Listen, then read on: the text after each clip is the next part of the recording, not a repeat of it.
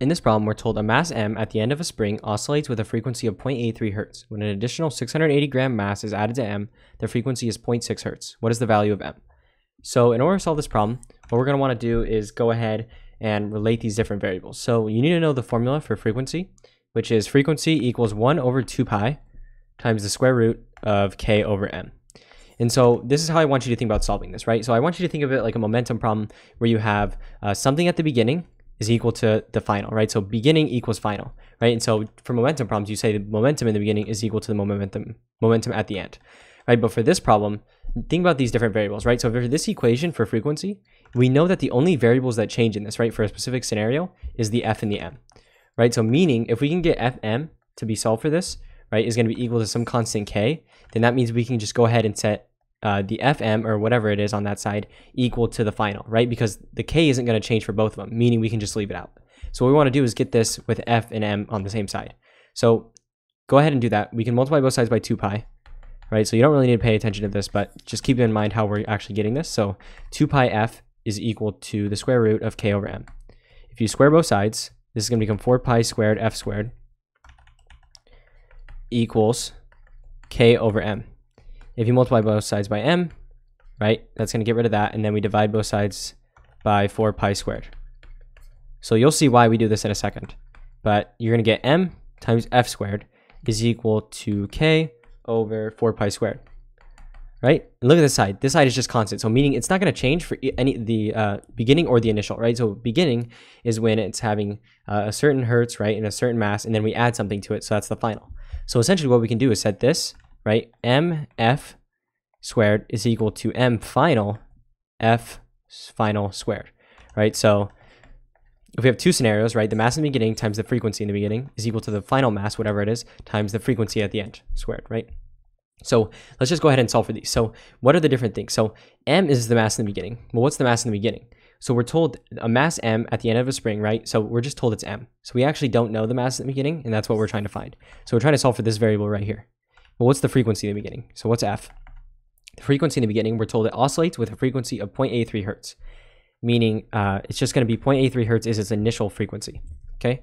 What about the mass at the end? So the mass final, I want you to think about it as if we have a box, right? So imagine this is our mass m, right? So this is the mass in the beginning. And what they're telling us is we're adding 680 grams. So imagine we're adding some mass box to this again, right? So this is 680 grams. So if this whole thing is the mass final, well, what's the mass final, right? It's just going to be this mass plus this mass right? Because this is the total final mass. And so essentially that's what it is, right? So this is just going to be, if we start plugging stuff in, m times frequency, 0.83 squared, is equal to the mass final, which is the normal mass, plus the mass we're adding, which is 680 grams.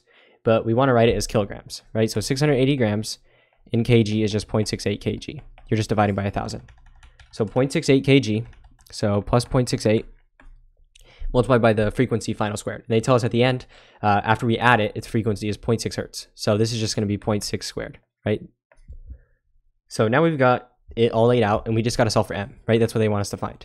So what we want to do is just go ahead and multiply this out. So m times 0.83 squared is equal to m times 0.6 squared is just 0.6 squared m plus 0.68 multiplied by 0.6 squared. All I did was multiply this out.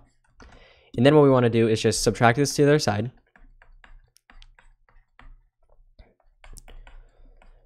Right? And so I'm actually not going to do the math yet, but mem times 0.83 squared minus 0.6 squared times m, right, is equal to 0.68 multiplied by 0.6 squared. And we can factor out an m here now, right? So just imagine this is we're factoring out an m. So we just have 0.83 squared uh, minus 0.6 squared. Right, all we did was factor out an m. And then what we can do now is just divide by m, or sorry, divide by this, right? So this whole thing, and you're just going to get m is equal to 0.83 squared minus 0.6 squared all over, or sorry, it's on, yeah, I messed it up. It's on the bottom.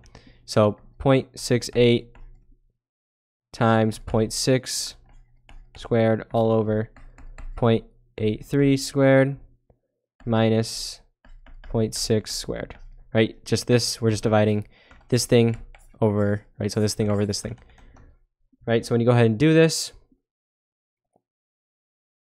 you're going to get, so just go ahead and plug this in your calculator and you're going to get m is equal to about 0.74.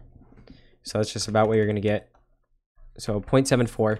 And then what you're going to want to go ahead and do is keep in mind the units, right? So mass we measure in kilograms.